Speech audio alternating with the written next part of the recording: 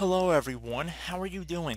This is MD Tech here with another quick tutorial. In today's tutorial I'm going to show you guys how to resolve the Windows error code 8007005 on Windows. So should be a pretty straightforward tutorial and we're going to jump into it.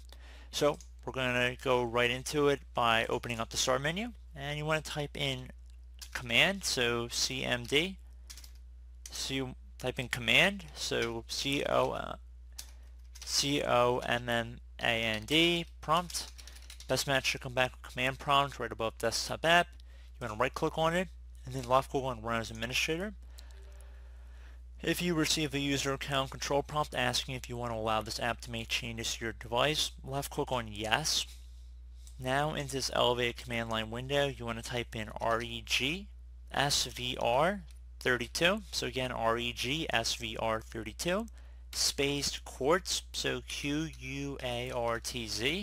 dot D-L-L. Quartz.dll should all be one word here.